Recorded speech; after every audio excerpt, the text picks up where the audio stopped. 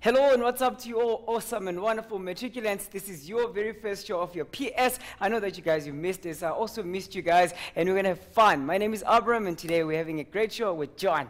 John, how are you? I'm great. Hi guys. I hope you're doing well and uh, hope you're ready to get it stuck into some chemistry this evening because we're going to have a lot of fun. Trust me, John, already the mindsetters are ready for this. There are shout, shout outs on the page men watching the show saying they are ready to learn more with this. Guys, if you haven't got the notes that John is going to be telling us more about, make sure that you go to our Facebook page, which is facebook.com forward slash LearnExtra. Also follow us on Twitter at LearnExtra. All these notes, guys, are available on this workbook. It's available and you can order it right now. Just send an email to sales at mindset.co.za. More details will be on this Facebook page. John, you can tell us more about this this awesome uh, workbook and the notes that we have. Yeah, for sure. Um, guys, we decided that instead of giving notes every week in a, a sort of random fashion that you've got to download, get your notes for the year. And then you can work through all the exercises for each section, and there are even some preliminary exam type examples as well. So you can do complete revision with the workbook, and even better news is that there are worked solutions for every one of the sections. So each chapter has a content section in it with some worked examples, step by step of what you need to do.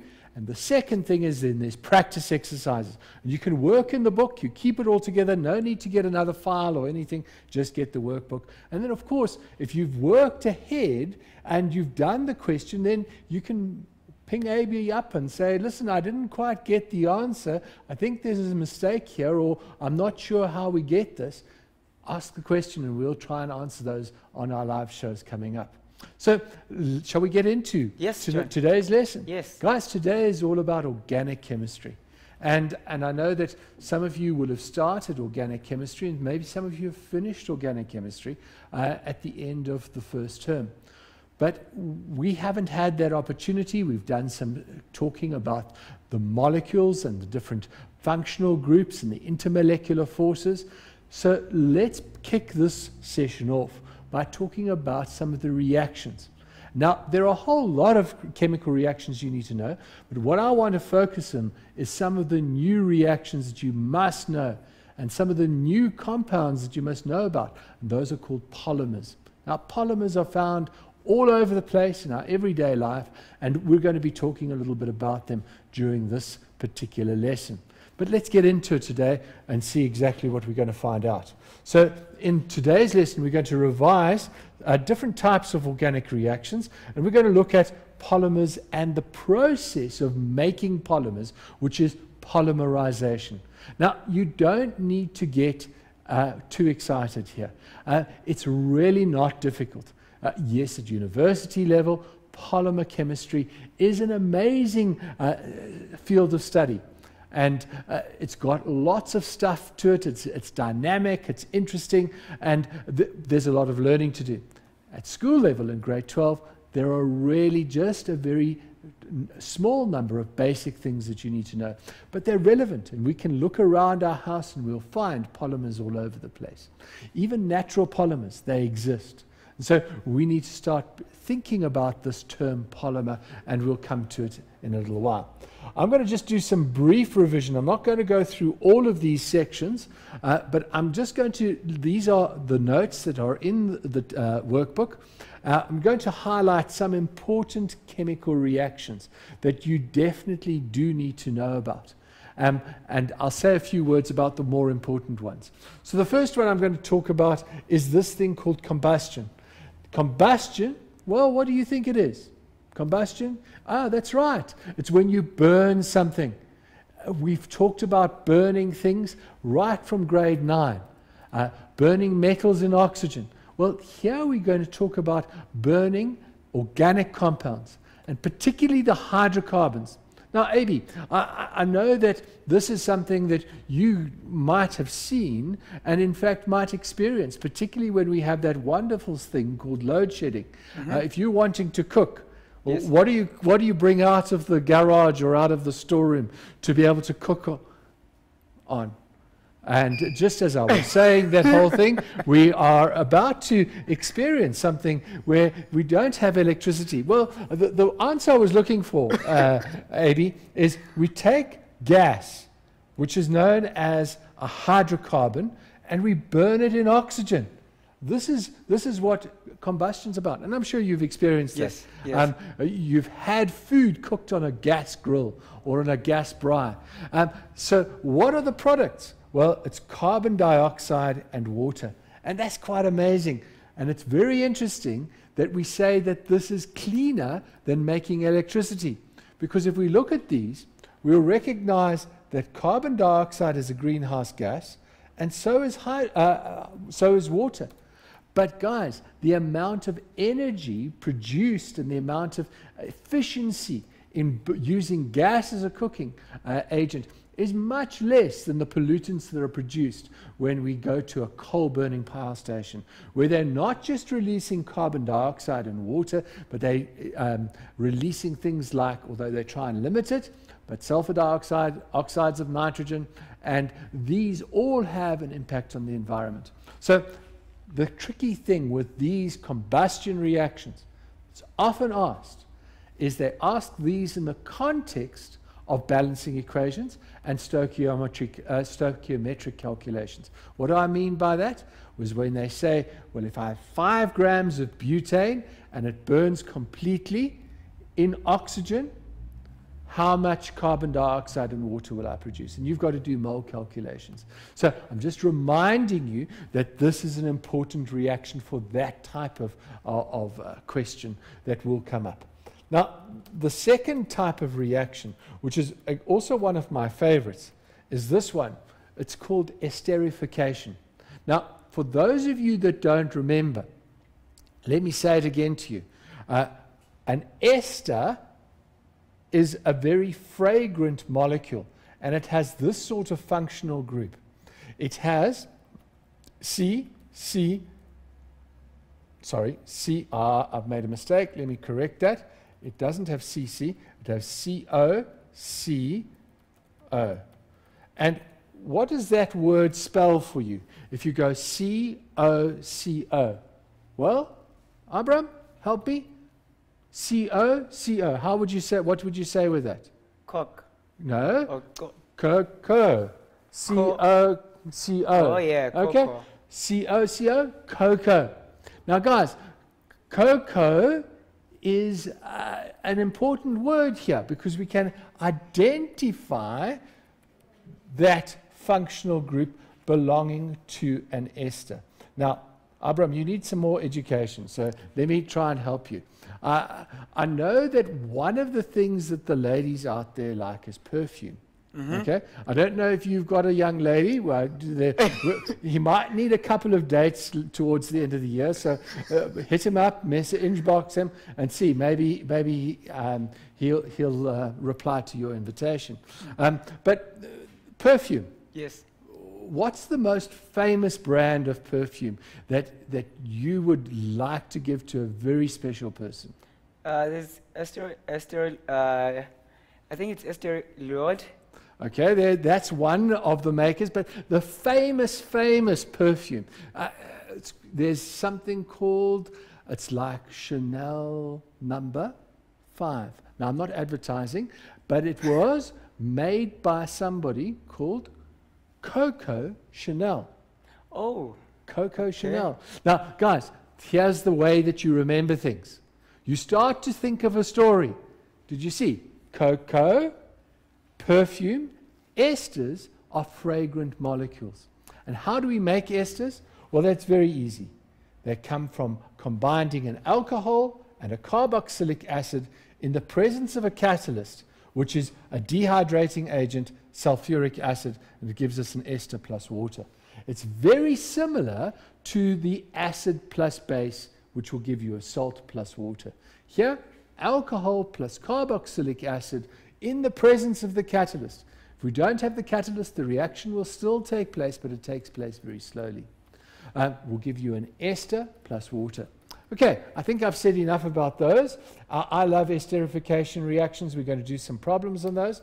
The next type is substitution. Now, what do you think substitution means? Well, guys, uh, you just have to turn on the TV uh, onto a, a, sports program and your favorite game, and you'll see somebody standing on the sideline and they do something like this. Huh? Mm, have you mm. seen that? Yes. What, what, does that mean? Exchange. A- exchange. So the player that is on, whether it's number nine, is exchanged with number 13 or number 12. The one comes off the field, the one comes on. And this happens in exactly the same sort of way in a substitution reaction. So there are different types of substitution reactions. We can have an alkane that reacts with a halogen, and look what happens. The alkane is saturated. That means it has carbon to hydrogen bonds all around all the carbons. And what happens is the halogen, remember what the halogens are? Fluorine, bromine, chlorine, and iodine. Most reactive one is fluorine. The fluorine comes along and kicks out a hydrogen. And so what do we end up with? Remember, the halogens are diatomic. So we could have F2, BR, uh, Cl2, Br2, and I2. Won't go to the other one. And what happens is we get the halogen, which is diatomic, and one of the atoms gets attached to the alkane. So one of these gets knocked onto there, and a hydrogen gets kicked out and joins up with the other one, which we make a hydrogen halide. Okay. Now, we can also do alcohols and hydrogen halides. And they produce haloalkanes in water. Please take note, there are different types of alcohols. There are primary, secondary, and tertiary alcohols. The tertiary ones react the easiest, and so we generally talk about those in this reaction. And then, I think this is the last substitution reaction, the haloalkane and a base, and the base is usually sodium uh, hydroxide or potassium hydroxide, and we take the haloalkane, we heat it up with um, one of the bases, and we let it brew for a bit. Um, if the base is dilute, uh, this reaction can happen at room temperature without heating up, and we get an alcohol and a hydrogen halide. Okay, there are your substitution reactions. Let's move on to the next ones. And these ones are absolutely critical. They're happening around us all the time, and they're called addition reactions. And the basic thing in a addition reaction, we take a double bond and we break it by adding another substance to it. So if that was ethene, the double bond, we come along and we add some hydrogen to it and we take away the bond, we leave it with just take away one of the bonds at least, and we now can put in an extra hydrogen. So I shouldn't have done it up there. Let me put it down over here. Put an extra hydrogen over there, extra hydrogen over there. Now you've got CH3 on that side, CH3 on that side, and we've broken the double bond. Talk about this as the London Bridge sort of experiment or, or reaction because there's a double bond and the bridge opens up Still, the pillars are connected, but the top part isn't connected, and the boat can go through, and uh, we can attach something to this side. Uh, we will talk more about those in particular context of um, polymers. Now, there's elimination as well, where we take something off and we produce a double bond. So, elimination and addition are opposites of each other. I'm going to rush through to the next one because I see we're almost out of time um, for this segment. And we're going to talk a little bit about what are polymers. Polymers are very large molecules. They're called macromolecules, and they consist of units that are repeated. So they have a pattern. They're not all jumbled up, they're repeated. There's an order to them. And there are different types of, of polymers. Some are called plastics, and the example that I'm going to refer to, and the example that you must know really well, is something called addition polymerization of ethane. Now, uh, there is your, um, so this is important to recognize. Our monomer here is actually not ethane, but ethene. Okay? That's your starting point. And what we do is we break the double bond and we make something called polyethane. So be aware of that. We were going to do a question on that. But in each of these units, we break the double bond and they're able to join onto each other. So it's a bit like Lego blocks. They build onto each other. As the one bond breaks, the next one forms, and we're able to join these units, these individual units that aren't bonded together. Those are called, those are the starting blocks. They're called monomers. Okay? Monomers. Uh, let's have a look at another example of a polymer. And this one is not a plastic. Monomer, I mean, polymers come in all shapes and sizes. This one's called a fiber. And the one you need to know here is polylactic acid. And I'm not going to say too much more about it, other than to say it's very much like the ester reaction.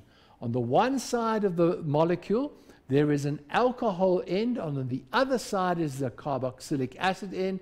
When the alcohol end meets with the carboxylic acid, we form a long chain. And those repeat themselves to form this uh, polylactic acid. Um, so it's a very nice reaction, very useful. It's biodegradable as well. Just to mention in your notes, there are a whole lot of monomers and showing you the polymers that go with them. These units are just simply repeated.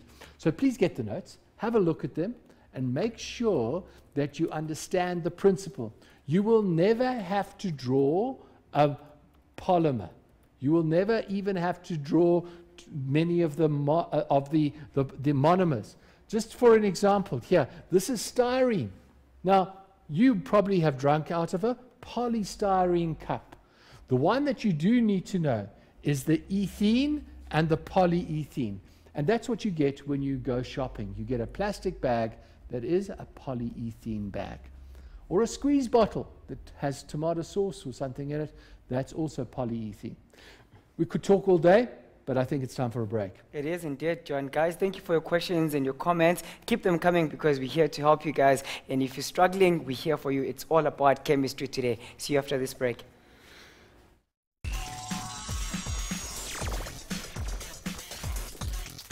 Welcome back, guys. If you're late, just like the mindsetter on the page, Boy Tumelo saying, I'm late, but I'm glad that I'm watching this show. Make sure that you get your notes from our website, of course, learn.mindset.co.za. Guys, I must tell you that on that website, there's a schedule with all the shows, the notes, links, and some of the videos for the past shows. So, so make sure that you, you get to that link because it's very helpful, guys. Otherwise, ask me on Facebook and I'll tell you all about it. John? Thanks, Abby. Guys, I see that there's some questions on the page. Some of them are related to organic chemistry, some of them are related to chemistry generally. It's great to interact with you. We'll see how many of those we can fit into our next segment. So please ask as many questions as you can. If you're not sure about something, now is the chance, and I'll see if I can help to answer that for you. Okay, let's pick up on some questions from previous exam papers. And this one is about the making of esters. And so I want you to see that it, it's got a whole text region where it tells you many of the flavors and odors of fruits are esters. I like to underline keywords. Ethyl ethanoate is the most common ester found in wines and contributes to the perception of fruitiness of wines. So that's the odor, the, the bouquet they talk about uh, in uh, tasting wine. Ethyl ethanoate. A learner wants to prepare ethyl ethanoate in the school laboratory. She follows the instructions below. And so there are a list of instructions that I'm not really going to read other than to highlight. It tells you you're going to need ethanoic acid, one centimeter cubed, and ethanol, one centimeter cubed. Then you're going to add concentrated, concentrated sulfuric acid while swirling the test tube, and it gives you a whole lot more instructions about heating it. There's the diagram, and uh, it says that you can smell the vapor after a little while. Now, this ethyl ethanoate is not particularly flavorsome. It's not particularly, it's got an odor, but it's not particularly pleasant. But guys, there are an amazing range of, of different esters. Some of them smell like apricots, and some of them smell like uh, that uh, liniment, that wintergreen. That's one of my favorites uh, to make that. Um, I'll see if I can remember the, the exact formula for that. But this question now goes into there's the apparatus, how we've done it. There's a thermometer, there's paper towels soaked in cold water, there's a water bath. That's where we've got the recipe, and there's the Bunsen burner underneath. That isn't very common, but that's the particular question that they've put together.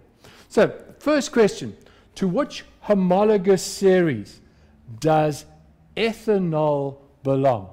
Now, guys, when you get a question on the organic reactions, you can be asked all of the terminology about organic molecules. And this is an example.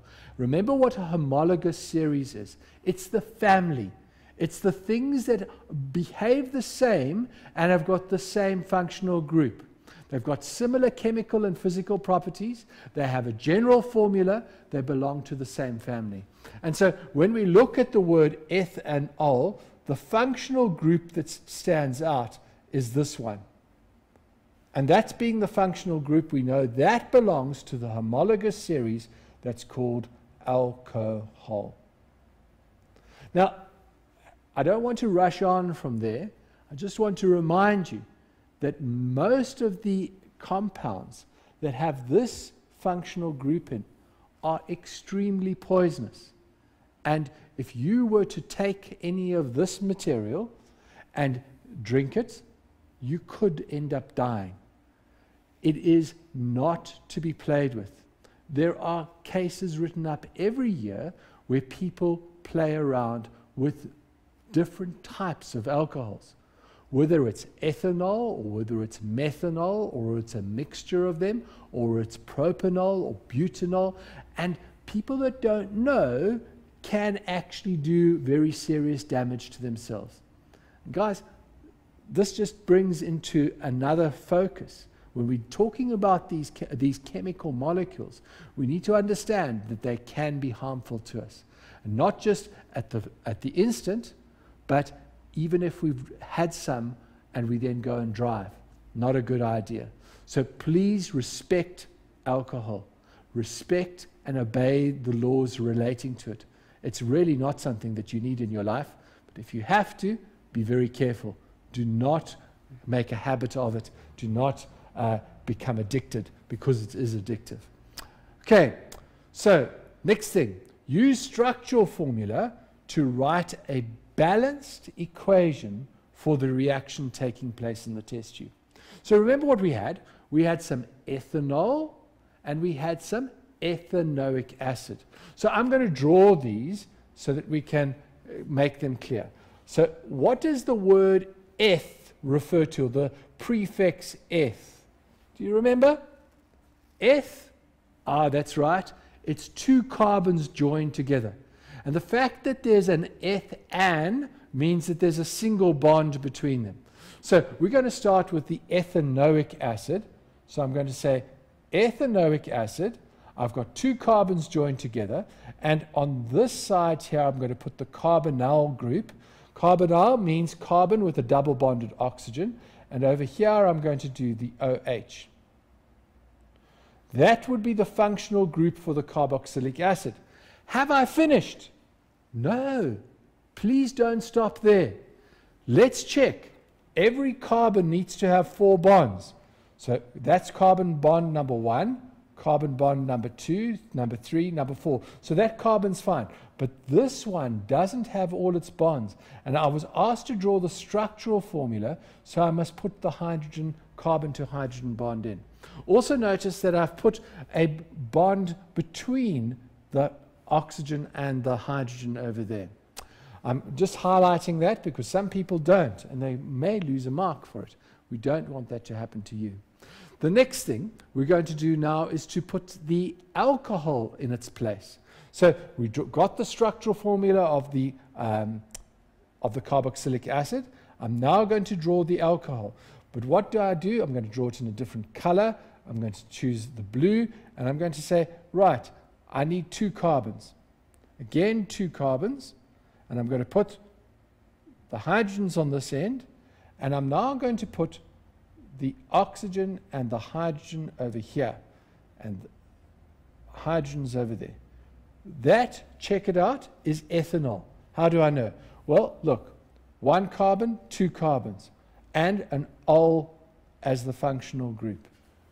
Just take that away for a minute. There we've got it. Now, what's going to happen when we put these two together?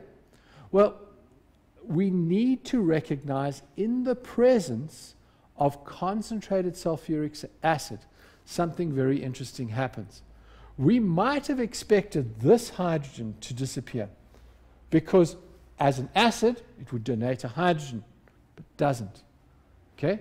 What actually happens is this whole thing here gets sucked off. And what have I got in that block there? I've got two hydrogens and one oxygen. And if I take two hydrogens and one oxygen, what substance can I form? Ah, you've got it. I can form water. Now, if I was drawing this out uh, accurately, I would then redraw the product. I'm going to cheat a little bit because I'm running out of space.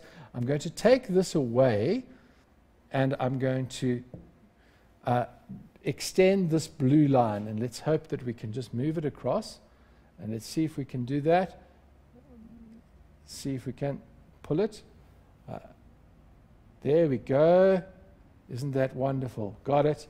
And now I can show you that the substance that I've started with uh, or I've ended with is this ester. How do we name it? We name it from the alcohol side first. It's ethyl, and then we name the carboxylic acid, ethanoate. But I can't forget what else I've got. I've got water. Because they asked for the structural formula of water, I must draw it in like that because it's not a straight molecule, it's slightly bent. So that would be the product drawing the structural formula. Now, next question. What is the function of the sulfuric acid in the above reaction? Well, it's the dehydrating agent or the catalyst. Okay? Um, and it effectively just pulls that water off. Remember, I, I, circled for you the two hydrogens and the oxygen, and that's what the carbo, uh, that's what the sulfuric concentrated sulfuric acid does. It pulls them off. Um, now, here are some experimental questions. Why does the method use a water bath instead of directly heating over the open flame? Let's go back to the picture so you can see exactly what's happening there. There's the open flame, but the test tube is uh, the, the substances are in water. And they're, they're in a test tube, in a beaker, in water. Now, why is that happening?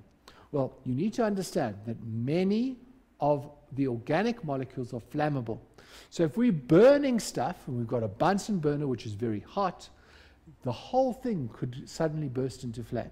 So we put them in water to keep the temperature controlled. So it doesn't heat rapidly in one position and it gives consistent warming. And generally, water baths don't even have an open flame. We might just use a kettle or something to put the water in, heat up the. I wouldn't use a Bunsen burner for this particular reaction. You could just simply heat up water in a kettle or put an element like a, a heating element into some water and take away the open flame. It's, it can work, but it's not as safe as it could be. And there's a second precaution which we're going to come to in the next question, and it says state one function of the wet paper towel at the end of the test tube. Now, remember what I've said to you in the previous question? There's some wet paper towel over here, and the reason that it's there is because as you're heating, you're driving off some fumes. So the fumes are getting, getting pushed off. The ester fumes. Now, esters are flammable too. And if the ester pushes off like that and it, it gets into the flame, the flame becomes bigger and the whole thing could be set on light. So what we do is instead of doing that, is we put the water, paper towel with water there, the ester dissolves into the water and it prevents the threat or the possibility of an uh, a, a, flame um, getting out of control. Okay, have you got any questions about esters? Uh, not now, John. I'll give you. Okay, good. Let's move on. So, guys, the next question um, is a typical question that throws in all sorts of um, different types of reactions. Let's see how, how many of these we can get through so that we can identify them. And they typically give you a flow chart, as we've got down here, to say there's a couple of processes happening. So from A to B to C, what is happening and can you identify what's happening? So what do we see? Well, the first thing that I notice is the letters A to F in, uh, in the diagram represent types of organic reactions. So what have I got? Let me identify some of the things. The first thing I, I'm going to start with A because that's a good point. I've got CH2, CH2. Well, I should be able to identify that. That's two carbons with a double bond in it. So two carbons immediately tells me that it's eth, and the double bond tells me that it's ethene. That's the hydrocarbon that I've got. Now, what about over here? Well, if you look at it, CH3, CH2OH, condensed formula, but I can pull it together and I can say, oh, that's not too difficult. It's eth as well, but now there's no double bond. It's uh, eth and ol, and the functional group is the OH, so that gives it to me there. Now, what about my next one? This one tells me I'm introducing something that's like that. So what have I got? I've got a carbonyl group and a hydroxyl group. What is that? Carbonyl group, double bonded oxygen and an OH. Well, it's a carboxylic acid. And what it's telling me is ethanol is going to combine with this carbon carboxylic acid to give me that substance. So I've just done a process where I combined a, an alcohol and a carboxylic acid and it produced an ester. So I can identify that this substance must E must be an ester. So what is it? Let's just do it now because it's most likely they're going to ask us just now to name it or to, to describe it in some way. Step number one, I've got the name of the alcohol. What about the name of the carboxylic acid? Well, let me count the number of carbons. I know that that's carbon number one. That's carbon number two, that's carbon number three, that's carbon number four, that's carbon number five. Now you might say, well, John, why did you start on that side? We normally read left to right. Why did you start on the right hand side? Guys, the reason we start and we number carbons from the right hand side in this case is we always start and make the lowest number uh, the, the, functional group must be the lowest number. The functional group of the substance must try and be the, the, the, uh, the lowest number, particularly for carboxylic acids. So um, in this case, we've got five carbons. So five is pent. So this is pent. They're all single bonds. So it's pent and oic acid. So here's my challenge to you. And I want you to think about it as we start to think this through we go to the other questions that I've just looked at the information here. What would the name of the ester be? Can you think about it? Can you determine the name of the ester? Well, just jot it down quickly. We've given ethanol plus pentanoic acid. Write it down and we'll check it in a minute. Okay. So, here we go. Name the type of reactions addition, substitution or elimination represented by B and F. So let's go and have a look at B and let's go and have a look at F. So B starts with the ethanol and it ends with the um, alkene. So what have we done? We've created a double bond.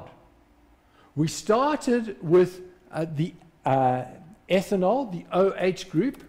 There must have been another product produced. Where is the OH gone? Normally, when we have an alcohol and we form a double bond, we must add in water. So now watch here. we've got one substance to start with, and we've produced two. We've eliminated, we've pulled off the water. Uh, I want to just get some blank paper just to show that to you in a little bit more detail. So let me go over there. So here's where we started. We started with the alcohol. I'm going to draw it like that. And what I want you to see is that in this process, we've grouped these things together and we've pulled them off. We said, let's get rid of you. And a way of saying get rid of you or pulling you off is elimination. Because in this case, we got rid of them, but we didn't put anything else in its place.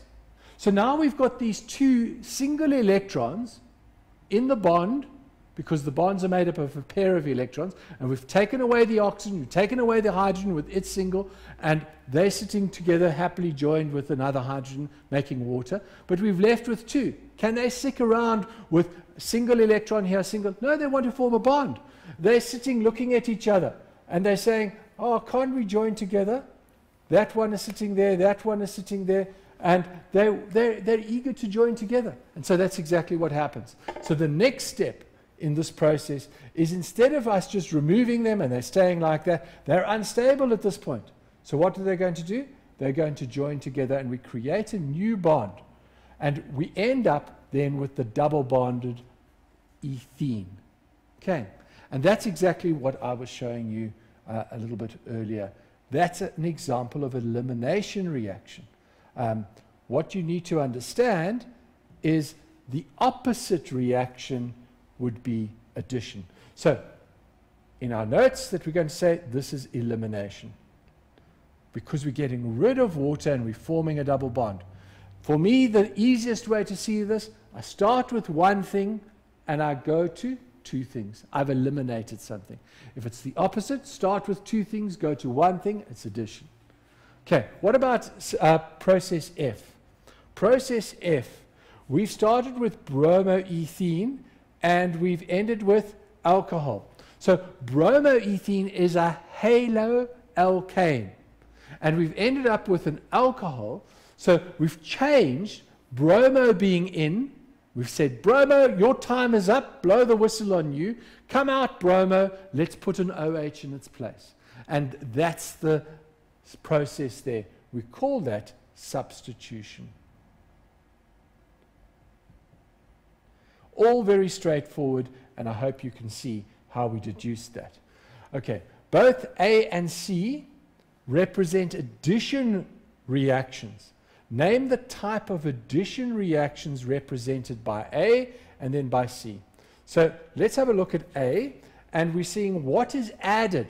Remember, we went from the, the ethene to the alcohol, and I've made it easy for you because what did we add? We added water. We added a hydrogen on the one side of the bond and an OH, hydroxyl on the other side. So we've the process is known as hydration. It's addition, but it's specifically called hydration. And number C, let's have a look at C. We went from uh, the double bonded uh, ethanol and we ended up with bromoethane. So what have we done? We, it's noticed it's just bromoethane, so we can't say that it's two bromos. It's just one bromo at this stage. And the name should really be indicated for us. Uh, we could say, it wouldn't be incorrect to say one bromo, but we wouldn't say it's dibromo. It's definitely not dibromo. Otherwise, we'd have to say it one, two dibromo. So we recognize that it must be the addition of hydrohalogenation. Halogenation.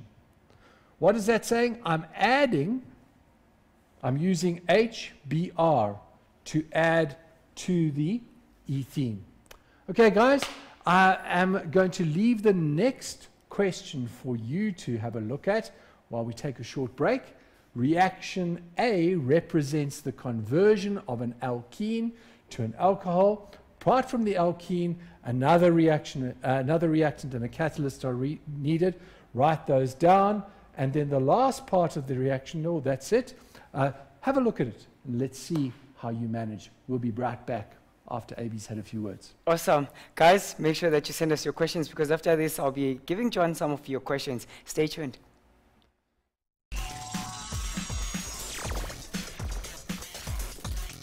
Welcome back, guys. Now, to tell you about this other exciting competition that we have, it's called the Beer Bright Spark competition. All you need to do, guys, is to look at our Facebook page, which is facebook.com forward slash learn extra. We've got simple instructions for you to stand a chance of winning a cool Chevy Spark L. All you need to do is to buy, is to buy the Safeways K53 book or download the cool Android app, which is available, guys, for 59 Rand. More details are on Facebook. John, I've got some questions and comments from the Mindsetters. Absolutely. Let's go for them. All right, uh, Stella saying, thanks a lot, guys, for the great show. Uh, Lungiswa Angel Rasmi, hello, guys, great show. Here's a question now from from Shamina. Shamina says, doesn't ethyl ethanoate have two carbon atoms? Okay, let's take that one step at a time. Let's decode that name. So, was it Shamira? Uh, Sh Shamima. Shamina. Shamina have a look. We're going to say ethyl, ethanoate. Uh, now, what you've got to recognize is that there are two parts to this molecule. You recognize it's an ester, what we've done earlier. This part comes from the alcohol. So that part comes from the alcohol. And this part comes from the carboxylic acid.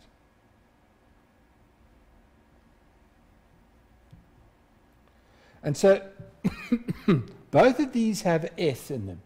That means that there were two carbons in the alcohol and there were two carbons in the carboxylic acid. When you join these two together, then you get four carbons and the famous Coco Chanel bond.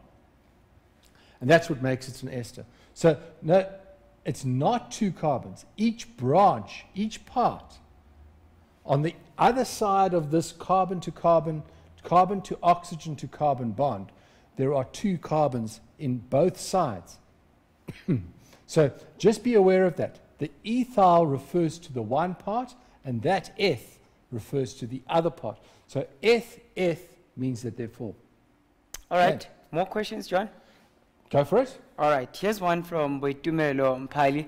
I'm sorry, uh, she just corrected me. She's Boitumelo, the president. So, uh, okay. Boitumelo, the president, says on number 2.1.2, why isn't it hydro hyalination as water is added and the bromine bonds with one hydrogen and the OH bonds to the ethane? Okay, so uh, let's go. Was it two point? 2.1.2. 2.1.2. They asked for me whether it was, and this is very important. Madam President, please pay attention. You've got to read the question. Okay? Please take note. Uh, it said, name the type of reaction, and they've told you what you must do. You must name addition, substitution, or elimination. It's very, very important that you read what's written down in front of you. Okay, so I can't come up with anything else. I've got to say, is it addition, substitution, or elimination? And so that's why I've written substitution. You're absolutely right, because if we were to describe it more fully, like we've done A and C here, we've indicated what it would be.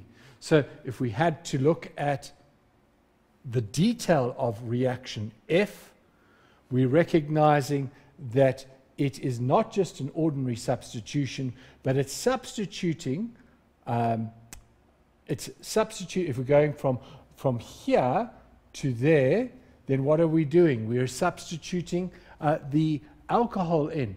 So we, we, we, we need to recognize that there's a halogen coming out and a hydrogen, uh, a hydroxyl going in.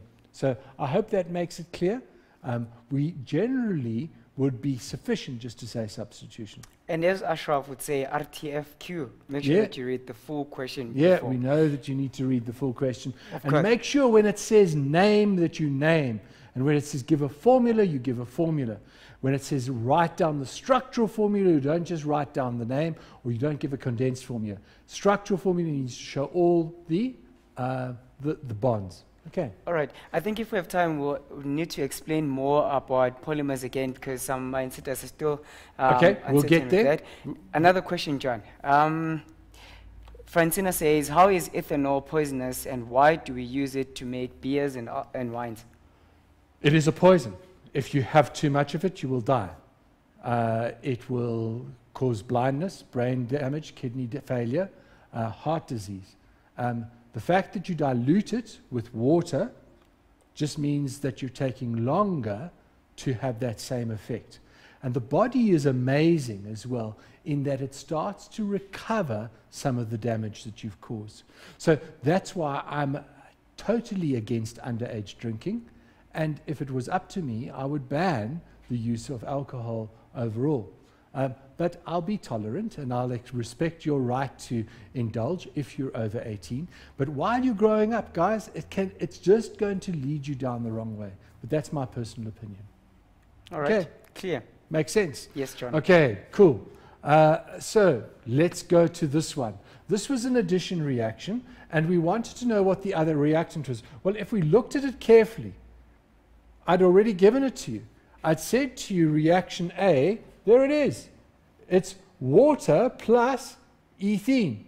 So now, so the reactant is water, and the catalyst here in organic chemistry, the most common catalyst that we use is sulfuric acid. And in this case, it's no, no different. So we use sulfuric acid, but you could have said phosphoric acid. So it would work with phosphoric acid as well. Sulfuric or phosphoric acid. Um, it does need to be concentrated sulfuric, and it helps with that breaking of the bond. Okay. Now, I want to skip through this one quite quickly uh, because I don't think that's terribly challenging. So I'm going to leave you to look for the answer in the notes.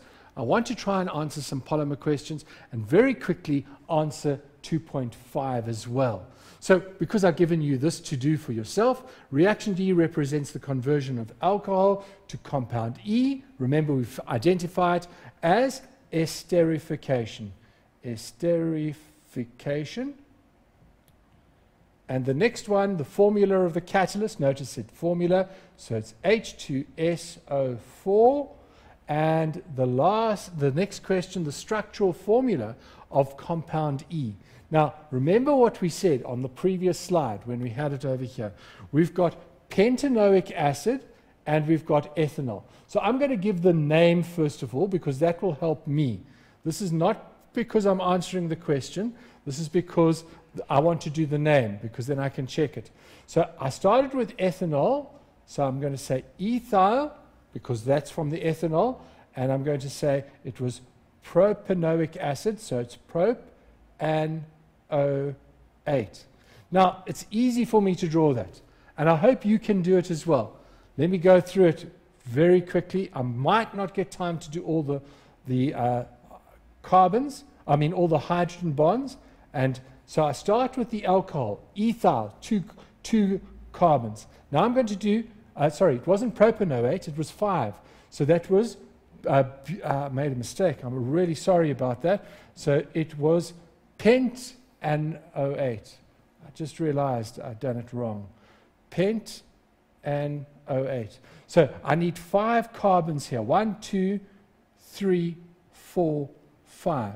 I'm going to put the hydrogens in over there, like that. Please fill them in. Don't leave them like this.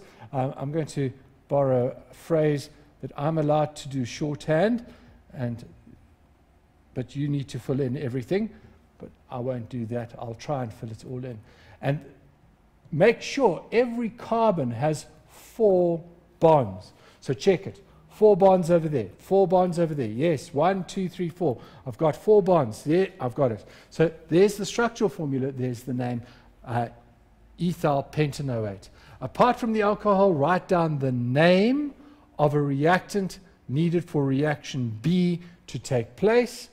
Uh, and so let's go to the, to the sheet where we can see reaction B. And reaction B is that one, which is again going to be the sulfuric acid.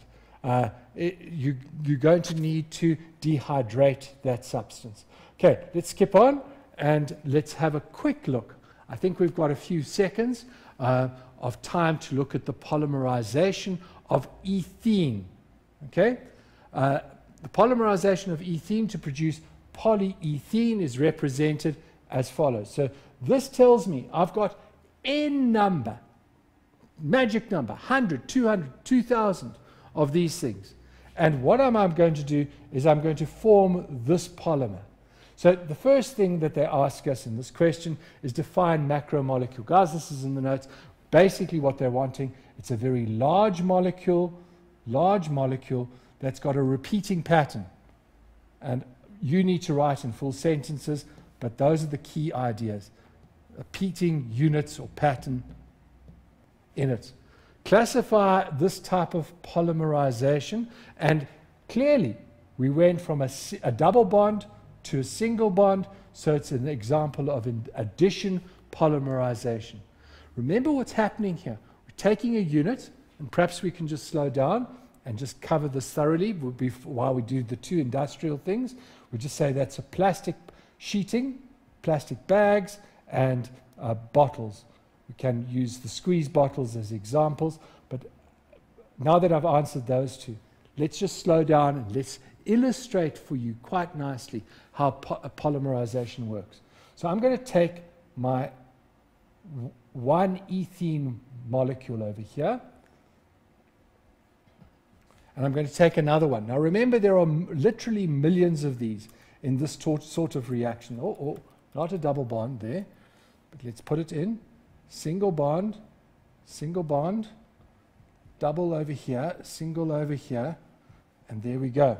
Now, when you collide these two together, under heat, under conditions where it's, it's favorable, what's going to happen is this double bond breaks. So I'm going to take my eraser and I'm going to put half of that double bond over there and the other half over there. And in the same way, I'm going to take my eraser and I'm going to put the one half of the double bond over there and the one half of the double bond over there.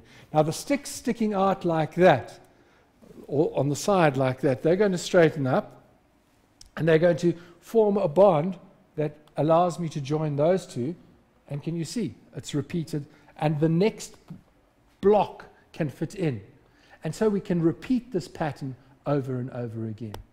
Maybe I hope that, do you follow that? Yes. And you see how the blocks fit together, mm. and that's why we call it addition polymerization. We're breaking the bond and we're joining the things together. Any questions? Uh, there's a question about what is a catalyst. Okay, uh, let me explain what a catalyst is.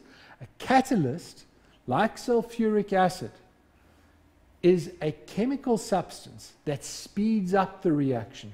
If you go to uh, remember stuff that you've done in grade 11, where we did rate, uh, we, we did energy profiles, we said that these are the reactants, I'm just going to put R there, and P are the products. Takes a certain amount of energy to get up the energy hill, and then energy is released. This is an exothermic reaction. When we have a catalyst, it lowers the amount of energy, and in that way it speeds up the reaction. So there's less activation energy. That's the root of the catalyst. The catalyst itself is not used up, doesn't change. All right, okay, quick, Abby, one quick, more. Quickly, what is the difference between elimination and cracking? Okay, uh, elimination and cracking is the same thing. You can, you're uh, just breaking things apart. Uh, we're eliminating molecules from there. Remember the rule? If we have one thing and we break it into more, elimination. There's no difference then. Okay. Pagamis. Thank it's you so much. Just a specific example of elimination, cracking. All okay. right. Thank you so much, John. Thank you guys for watching. That's all we had time for. Remember, we've got exciting competitions for you, so do check them out on our Facebook page. From us to you guys, we just want to say we love you and peace. Till next time.